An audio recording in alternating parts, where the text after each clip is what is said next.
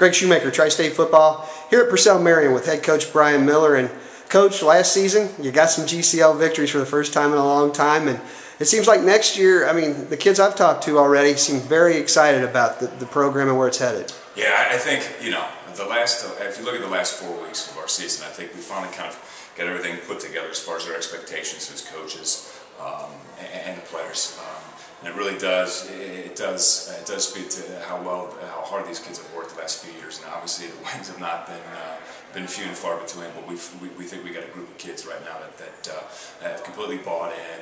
Uh, it does help when you got some talent too. Um, and, and, so we think the last four weeks is really going to be reflective of where this program is headed in, in future. You know, your program, you are sort of a, a lost child. You don't have a, a, real field to play on on Friday nights. Last year you went to the Sheakley Center. Uh, talk about your involvement with them in this upcoming season, and, and, is that going to be a home for Purcell? Yeah, it's, it's going to be our, our home. You know, we'll have, last year we had four home games, and unfortunately we couldn't play our last one there because the bubble was already up. So we played our last home game at Marymount. This year we'll have six home games there, and we're excited. Our, kids, I mean, to be honest with you, I know everybody keeps saying you don't really have a home field. Yeah, we don't have one on campus, but we look at that right now. That is our that's our home. And we don't look at it as we, we're playing at UC. We're playing at our home field. Uh, and, and, so it's been it's been really good for, for the program, good for the kids because now it's stability, and they love it. And honestly, it's a, it's a great venue. I mean, it's a really if, if if you haven't seen a game there, it's a fantastic venue the way it's all set up. Uh, and, it, and it's just it's good for the kids because they finally, and I think I've, I've, said this in the past, it's finally they feel like this is our stuff now. And, and who knows, maybe that was part of the, you know, the positive stuff too. Like you know, we're finally kind of getting a little bit more footing here um, as far as you know our, our identity in, in, the city as well. You talked about uh, getting some cohesiveness. You're going to take your team on an intersession yeah. here in a couple weeks. Tell us about that and what it entails. Well, what we have here at the school, it's a, it's intersession goes between third and fourth quarter, and so we don't have a formal spring break. And so what we do instead is we offer kids, um, you can say, alternative kind of um, lessons for school. And so what we've done here is we do a history of Southwest Ohio football. And it's not all it's not all just football players. It's open to anybody in the school, nine through twelve. And so what we try to do is, is get these kids an opportunity to, to see something different that they're not usually going to see. Tour facilities. You know, we'll, we'll, when we go to the facilities, we'll, we'll have some kids that are interested in some of the architecture, that look at the building structure. Uh, you know, we'll go see practice because you know you're going to have kids who are interested in long-term coaching. So we're going to be down at UC on Monday. Uh, we're watching them practice. Eventually, we'll, we'll, make our way down to, to, Athens for OU on Friday. We'll see them practice. So our kids, uh, and like I said, we've got kids who, who don't play football, so but they get to see what it's like. Just uh, just different kind of atmospheres you know, these kids, a lot of kids, they, they watch sports, they see coaches on TV. Now they get the chance firsthand to see what it's like to be on the field. Whether or not they're going to play football, whether or not they do play football, you know, that's irrelevant. We just want to give these kids a different kind of experience from one that they're used to. And I think that's the great thing about intersession. We've got kids that are going to Ireland, kids are going to Puerto Rico. So, uh, yeah, so so we'll be we'll be traveling around this state. Well, let's let's talk about 2013. Mm-hmm. Uh, looks like your offense is going to be pretty good. Uh, talk about them. I know you got Knox coming back and Winters coming back, a couple of studs. Yeah, um, you know, the, the big key though is we've got linemen coming back. And we can talk about the skill guys all we want, but you can give them the ball a thousand times if you don't have anybody up front.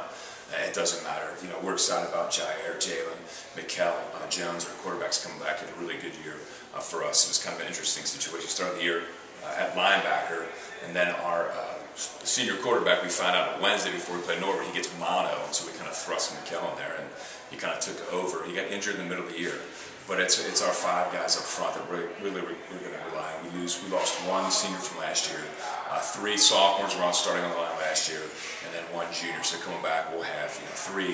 Um, we have three juniors and one senior, and we've got one kind of open spot. So that's uh, you know that's kind of where we are as, as a program. So we're excited and it's not necessarily about the skill. We've had some pretty solid skill guys in the last few years, but now we finally think we have the size up front to, to, to match to match up.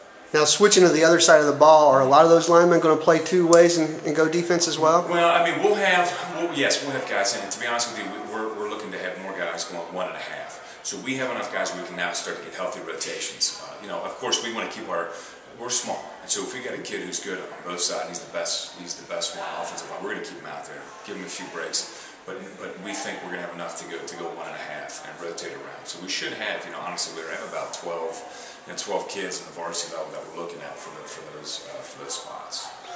One last question before I let you go. Your schedule. You know, obviously you play seven GCL games, how, and you got Norwood, who's all of a sudden on the rise. Right, right. Uh, how do you go about preparing who you want to play? Well, I mean, it's kind of a mutual kind of, you know, the athletic department coaches. I'm just happy we don't have to play St. Vincent St. Mary Yeah. anymore.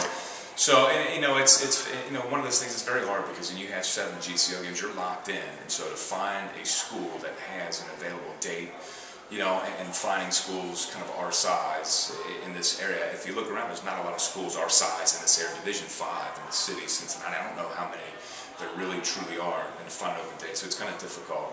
You know, this year we've got a big challenge. We, we open up with Deer Park, so that'll be a challenge for us. Um, we open up at home uh, as well. We don't have to travel. We, last year we had to travel St. Vincent to Akron. Um, so it'll be, it'll be it'll be a great game for us. You know, we're excited about the schedule. Uh, you know, but you know, we tell our kids we, we can't. You know, our concern right now is just to win, win, win the day, win, win the hour in the weight room and all that kind of stuff. And we'll worry about the season when it comes around because it's it's too late. Um, if you if you get prepared for the season on August 5th, you got to get ready for it now. There you go. That's Brian Miller, the head coach of the Purcell Marian Cavaliers, and he's got the winning train starting to roll here.